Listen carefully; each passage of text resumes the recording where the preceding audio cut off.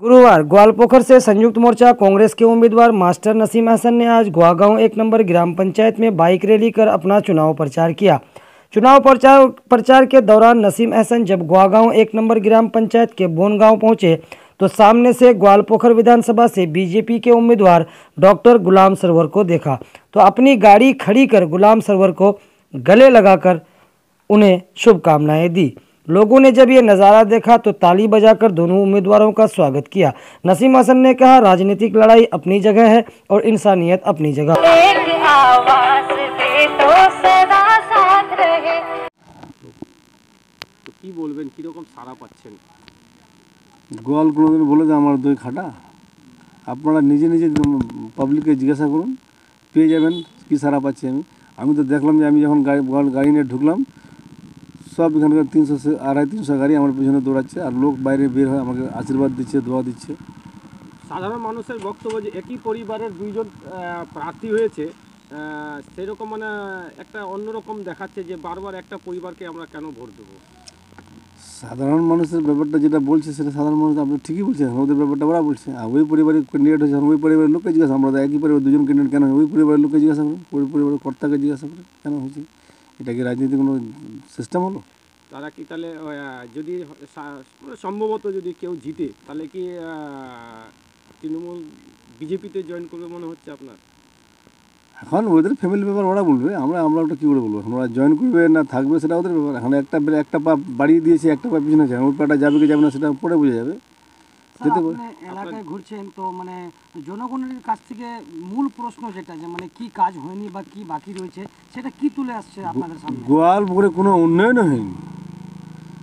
যেটা ওরা উন্নয়ন দেখে সেটা উন্নয়ন না। গোয়াল পুকুরের নিডস যেটা গোয়াল পুকুরের নিডস আজ পর্যন্ত পূরণ হলো না। গোয়াল পুকুরের নিডস আছে এখানে একটা ডিগ্রি কলেজ একটা মহিলা কলেজ গার্লস হাই স্কুল নেই। একটা কোনো স্কুল তৈরি করল না দশ বছর এরা। এখানে স্বাস্থ্য পরিষেবাটা কোনো বেকার পড়ে আছে। কিষাণ কৃষকদের জন্য কোনো সিস- কিষাণ মান্ডি নাই ইরিগেশনের কোনো সিস্টেম নাই এখানে কিষাণ মান্ডি না হওয়াতে এরা ফসলের যেটা দাম ন্যায্য দামটা পাচ্ছে না পুলিশকে রাজনীতিকরণ করে- রাজনীতিকরণ করে দিয়েছে একদম পুরো প্রশাসনটা রাজনীতিকরণ হয়েছে বিএলআর অফিসে কোনো সিস্টেম নেই অফিসে কোনো লোক নেই আর কাজ করলেও টাকা দিয়ে কাজ করতে হয় পুলিশের অত্যাচারটা বেড়ে গেছে তো স্যার গল্পঘরের জনগণ যদি আপনাকে আশীর্বাদ এখান থেকে জয় করে বিধানসভায় পাঠায় তো কি যে কথাগুলো আপনি এখন বললেন সেগুলো কি আপনি তুলে ধরবেন? আমি তুলে ধরবো নাকি আমি যান প্রাণ দিয়ে লড়াই করে এসব জিনিস আদায় করার চেষ্টা করব। মানুষ জানবে যে নাসিম সাহেব লড়াই করতেছে আমাদের জন্য। পাওয়া না পাওয়াটা সেটা গভর্নমেন্টের ব্যাপার তো। মানে আমি যে লড়াই করব সেই লড়াইটা মানুষ জানতে পারবে বাড়িতে বসে জানতে পারবে। এটা আমি করে দেখাবো আর পাঁচ বছরে কোনো কোনো ভিডিও ক্লিপ দেখাতে পারবে না। এখানকার যেখানকার যে বিধায়ক ছিল যে মন্ত্রী ছিল একটা ভিডিও ক্লিপ দেখাতে পারবে যে গোয়াল কোনো আওয়াজ তুলেছে ওখানে বিধানসভায়। বা কোনো ওর প্যাডে মন্ত্রীর প্যাডে একটা মেমো চিঠি দেখাতে পারবে না একটা মেমো দিয়ে চিঠি দেখাতে পারবে না যে আমি এই গোয়াল এই চিঠিটাতে এটা ডিমান্ড করেছিলাম। এটা দেখা দেবো মানুষ দাদা আরেকটা লাস্ট প্রশ্ন যেটা আর কি আজকে একটা সৌজন্য দেখলাম আপনার ভিতরে। সৌজন্য যে বিজেপি প্রার্থীর সঙ্গে একটা আলিঙ্গন করলেন। আমরা মোটর বাইক র্যালি করতেছি ওরা করতেছে। হঠাৎ করে আপনার কি জায়গাটা ওটা বনগাঁও স্কুলের পাশে ওরা দেখা একদম ক্রস, ক্রসিংয়ে আছি আমরা। তো একটা মানুষ, উনিও ক্যান্ডিডেট প্রার্থী, আমিও প্রার্থী। একটা হিউম্যান বিং আছে যে কমপক্ষে একটা সৌজন্য সাক্ষাৎ হওয়া দরকার আছে। ইলেকশন ইলেকশনের জায়গা আছে, ভোট, ভোটের জায়গা আছে। মানুষ ভোট দিবে, ভোট দেবো আমাকে দেবে না আমিও দেবো না। মানুষ আমাদের ভোট দিবে। কিন্তু আমার একটা হিউম্যানিটি আছে, মানুষের তো আছে, ওনার সঙ্গে একটা কমপক্ষে সৌজন্য সাক্ষাৎ করার। মানে যেন মানুষ একটা ইন্টিগ্রেশন একটা যায়, বার্তা যায় কি না ভাই, আমরা ইলেকশন ইলেকশনের মতো ভোট, ভোটের মতন লড়তেছি আমরা। ওই ওই মারপিট করে ভোট লড়া আমাদের কোনো নাই, আমাদের নিয়ম নাই। মারপিট করার কি অন্য দলের মধ্যে আছে? আছে না না সেদিন কমলপুরে টিএমসির মিটিং ছিল আপনারা খবর নেন। এই এনএসএফ সাদ্দাম হোসেন এটা তো এটা কি মিডিয়া আপনারা খবর নেন।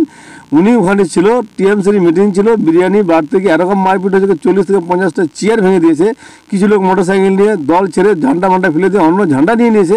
আপনি খবর নেন ওই টিএমসির মধ্যে এটা হচ্ছে? কালকে শুনলাম একটা হোয়াটসঅ্যাপে এটা হলো কমলপুর খাগর অঞ্চল। সালাম মেম্বারের বাড়িতে।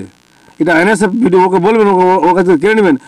উনি রব্বানি সবগুলো দেখাচ্ছে আর এটা যে মারপিট হলো কমলপুরে, সালাম মেম্বারের বাড়িতে, মিটিংয়ের সময়, মন্ত্রী ইন মিনিস্টার, ওটা কিন্তু দেখাচ্ছে না। তাহলে আপনাদের এইসব কাণ্ডকীর্তি আপনারা কী সোশ্যাল মিডিয়া করেন হ্যাঁ? ওকে বলেন। তুমি এটা কেন দেখাচ্ছ না? উনি তো উনি মমতা ব্যানার্জি কাজ গুনতি করে বেড়াচ্ছে লোকদের। আচ্ছা কালকে শুনলাম, বাবু কি নাম শামস তাবরেজ না কি নাম আছে? যিনি আমাদের গোয়ালপুরের তৃণমূলের যুব কংগ্রেসের ভাইস প্রেসিডেন্ট। উনি কাল উনি কালকে হোয়াটসঅ্যাপে রিজাইন করেছে নিজের পদে। তাহলে ওদের মধ্যে অনেক তফাৎ আছে তো। উনি উনি কারও বাবাটা থেকে দেখেন ইলেকশন আপনি লড়তে পারেন। কেস আমার একটা জমির একটা জমির সঙ্গে একটা কেস আমরা লড়তে পারি কিন্তু কোর্টে দেখা হলে আমরা সোজনের সাক্ষাৎটা করি সালাম আলাইকুম আলাইকুম আমরা বলি। নমস্কার বলি। সম্পর্কে ভাগনা হয়। দূর সম্পর্কে ভাগনা হয়।